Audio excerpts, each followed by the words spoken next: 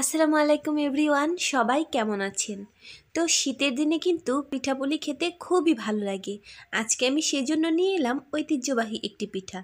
এটি হচ্ছে নারকেল ও তিলের পুলি পিঠা। এটি তৈরি করা অনেক সহজ এবং খুবই কম উপকরণ লাগে।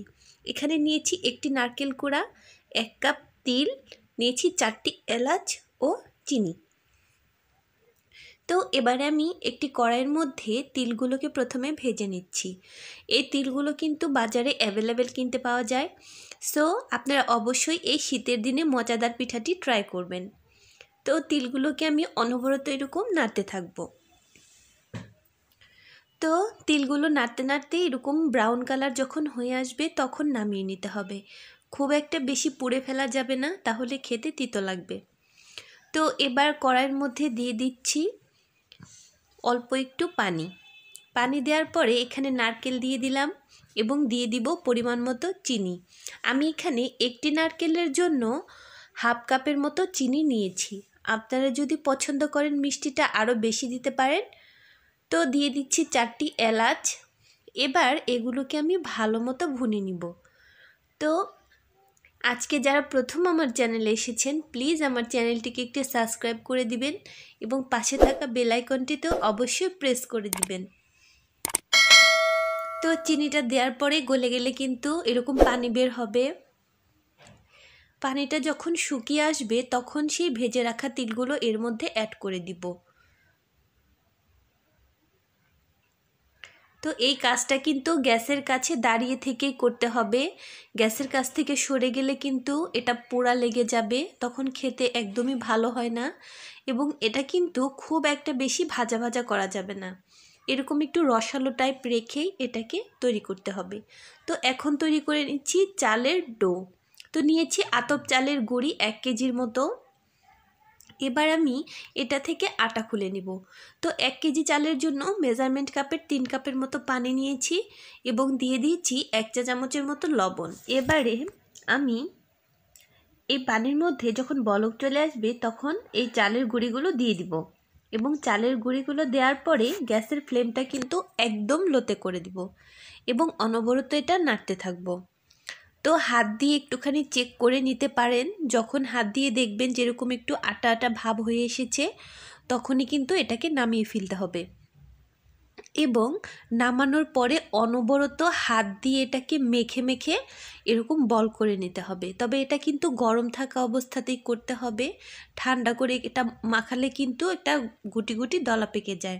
সো এর দিকে একটু লক্ষ্য রাখবেন। তো এটাকে ভালো মতো এরকম করে মথে নিয়ে দেন এর উপরে ভেজা একটি কাপড় দিলাম। এখান থেকে একটুখানি আমি আটা নিয়ে নিলাম এবং আবারও এটাকে ভেজা কাপড় দিয়ে কভার করে ঢাকনা দিয়ে ঢেকে সাইড করে রেখে দিলাম। তো এবার এই এটাকে আমি বলের মতো করে রুটি শেপ দিয়ে নিব। তো এটাকে কিন্তু হাত দিয়েও করা যায় বাট এরকম রুটি শেপ করে নিলে সবগুলো দেখতে একই রকম হয় এবং একই সমান হয় এবং এর পুরুত্বটাও একই রকম থাকে, খেতে এবং দেখতে ভালো লাগে। তো আমি এরকম করে রুটি শেপ করে নিচ্ছি। রুটি শেপ করে নেওয়ার পরে এখান থেকে সেই তৈরি করে রাখা পুরটা দিয়ে দিলাম এরকম লম্বাটে করে। দেন এটাকে ফোল্ড করে দিচ্ছি। এবারে এর শেপটা করে নিব, হালকা করে আঙুল দিয়ে এরকম টিপে টিপে। এবারে কুকি কাটার দিয়ে এটাকে কাট করে নিব। তো এরকম করে কাট করে নেওয়ার পরে হাতের আঙুল দিয়ে হালকা করে প্রেস করলেই কিন্তু এর মুখটা সিল হয়ে যাবে। এবার এর মাথাটা একটুখানি এরকম বাঁকিয়ে দিব। দেখতে খুব সুন্দর লাগে। তো এখন আমি সবগুলো এরকম করে তৈরি করে নিব। আমি আর একবার আরও একটি তৈরি করে দেখাচ্ছি।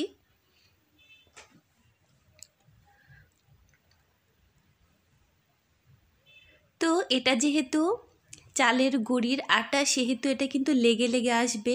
সো একটুখানি শুকনো গুঁড়ি নিয়ে এরকম করে বেলবেন, তাহলে কিন্তু এটা আর নিচে লেগে যাবে না এবং খুব সুন্দরভাবে এর রুটিটা তৈরি হবে।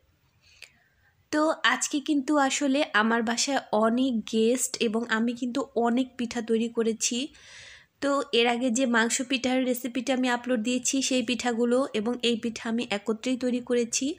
সো জায়গাটা কিন্তু অনেকটা ম্যাসি হয়ে আছে প্লিজ কেউ কিছু মনে করবেন না। তো এরকম করে আমি আবারও দিয়ে দিচ্ছি। তো এগুলো কিন্তু আমি অনেক তাড়াহুড়ার ভেতরে করেছি। তারপরেও ভাবলাম যেহেতু নতুন একটি জিনিস ট্রাই করছি, কেননা আমার প্রিয় ভাই বোনদের সঙ্গে এটা শেয়ার করে নিই। তো তার জন্য একটুখানি শেয়ার করলাম। কেমন লেগেছে অবশ্যই আমাকে কমেন্ট বক্সে জানিয়ে দিবেন। তো এরকম করে নিলাম। এবারে আঙুল দিয়ে আবারও এটাকে হালকা করে প্রেস করে দিচ্ছি। আমি এরকম করে সবগুলো পিঠা তৈরি করে নিব। তো এখনও কিন্তু প্রচুর পিঠা তৈরি করা বাকি আছে, আমি জাস্ট এগুলো আপনাদের সঙ্গে শেয়ার করছি।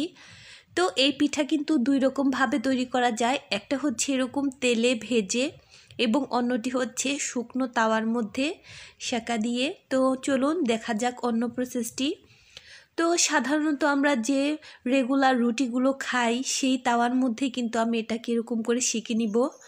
তো এক পাশ হয়ে এলে এরকম করে হালকা করে ভাজা ভাজা হয়ে এলে অন্য পাশ উল্টে দিতে হবে।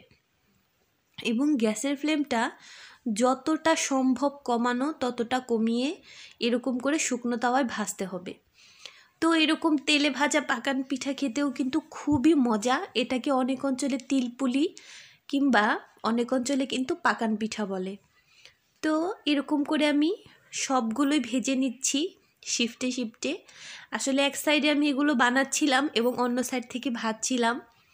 তো এই তো এরকম হয় দেখতে। আসলে একই পুর এবং একই ডো দিয়ে তৈরি বাট দুটোর কালার কিন্তু দুই রকম এবং টেস্টটাও কিন্তু একবারেই দুই রকম হয়। এটা খেতে কিন্তু অনেকটা ক্রাঞ্চি, কুড়মুড়ে এবং ভেতরটা রসালো এবং যেটা আমি শুকনো তাওয়ার মধ্যে আসলে যেটা করেছি সেটাটা কিন্তু বাইরের দিকটা একটু ড্রাই ড্রাই থাকে এবং ভেতরটা জুসি থাকে। তবে দুটো পিঠা খেতেই খুবই মজা এবং খুবই ভেতরে জুসি থাকে। অবশ্যই বাসায় ট্রাই করবেন।